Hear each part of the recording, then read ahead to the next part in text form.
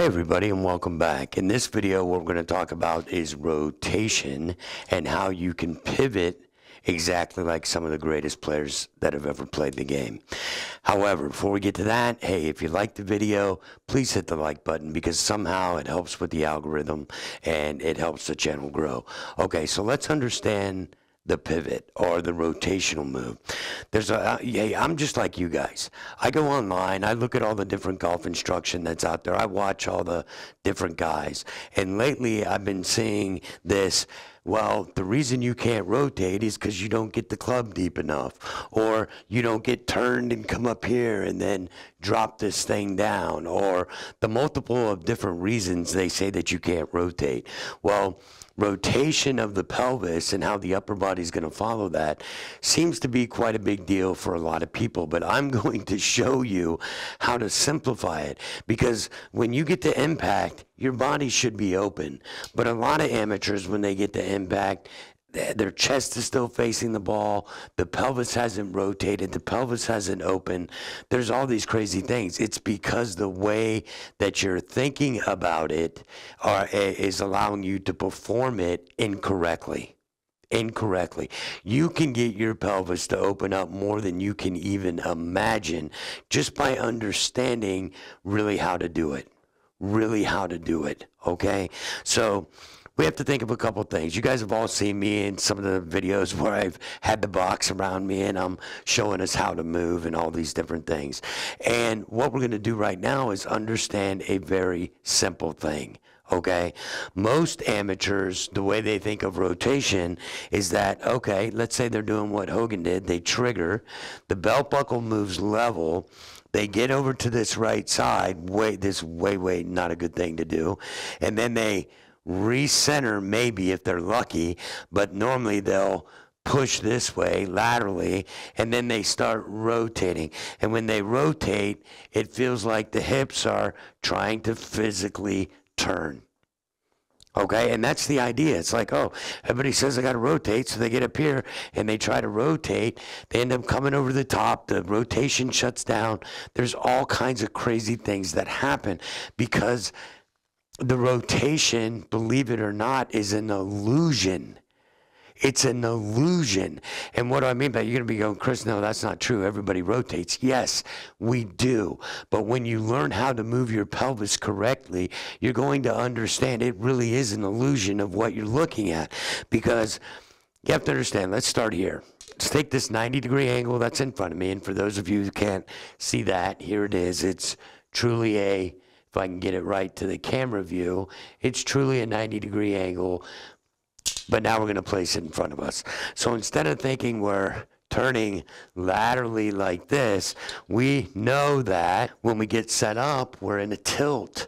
So this tilt has now moved my spine forward and my bottom part of my butt has gone up, but I haven't tried to push it back. It's just because I've been forward, the pelvis goes up, okay? When we're in our posture like this, because we're tilted forward, this angle of the 90, if it was flat like this, if I was standing up straight, the angle of the 90 tilts forward as well. So now all of a sudden we get set up like Hogan. We've got the little knee kicked in the rifle's pointing where we want to go, all this wonderful stuff. Here's the 90 in front of me. So when we go back, we start our swing, we trigger to the lead side. Then the lead side is moving. We're going to call this the, the lead side of the 90 and the trail side of the 90. So all of a sudden it's going lead side of the 90, it's taking my body into the trail side of the 90. So all of a sudden I'm at the top. There comes my recenter move. So the second I've rebalanced. Now, here's the 90. The second I have rebalanced, I have to start working up that 90. So it's this way. It's this way, okay? And what is that really doing? What is it really doing?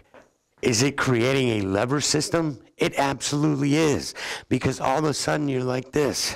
Here, I've rebalanced. Now, the second I've rebalanced, now it's lever.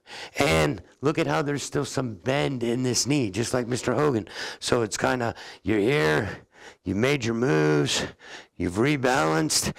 there, there, there. And I am still in this bent knee position and all this, but I have levered my hip, but I'm not pushing back with my foot. I'm not, I don't even care about what my foot's doing.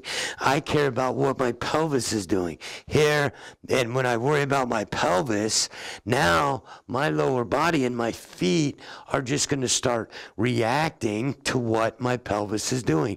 Because again, the swing happens from the inside out, not the outside in. Everything will follow correctly if you can just learn how to move your body correctly. And not only learn how to move your body correctly, understand why you are doing it. We are in no way, shape, or form moving laterally, going into early extension, doing all these different things. We're staying in our posture. Now we're going to work that 90. There it is, head staying back. Now I'm coming into impact. The head would be behind the golf ball. And now I can just accelerate and come up into the finish. It gets pretty simple because, like anything else, watch this. Here's the 90. The left side of the 90 is over here, guys. So all of a sudden, are the lead side. So when I've made my rebalance move, now I am just working up up this 90 over here. And I mean right now. Don't baby and try to come around it. It's once you've rebalanced, work that 90. And then all of a sudden, what will happen is it'll start coming down. And you will see how you've got this 90 degree relationship coming through, which is going to take us up and come to the top. Pretty simple. So when you can understand this, it is all about the 90 degree angle. Hogan did not see the same pattern. I'm telling you right now, he didn't see the same pattern that is being taught how to make the modern swing today. He saw a pattern with this 90 degree angle in front of him, which allowed him to, I'll do it in real slow motion for us, which allowed him to get here. There he comes here he comes. Rebalance because everything is just working this real tight 90 that would be really up close to him. So all of a sudden, when he's rebalanced, now it's just that. It's just this way. And when you do that, you're going to feel your glutes. You're going to feel your core. You're going to feel everything just wanting to thrust up, which is why Hogan's hands went up so high. But you have to have to learn how to lever the pelvis to really start getting your body to open. Period. Because watch this. Here we go, guys. I'm set up. Good stuff like Mr. Hogan. Boom. Trigger to the left to start everything. Rebound off the left to come back. Going to the top. Here we go. Here's our the orbit of the elbow causes me to rebalance. Then from here it's lever lever and you'll feel your glutes you'll feel your legs you'll feel all these wonderful things. Because look at the angle that i'm at and i haven't hit the ball yet. But because i've levered the system look what happened to my chest. It's open. It's not rotating open. It's levering open. And then all of a sudden i'm like right here and i can just shoo, throw that ball exactly where I want to go. So make sure you start to understand the lever system of the pelvis, and I promise it is going to help with your rotation. We'll see you in the next video.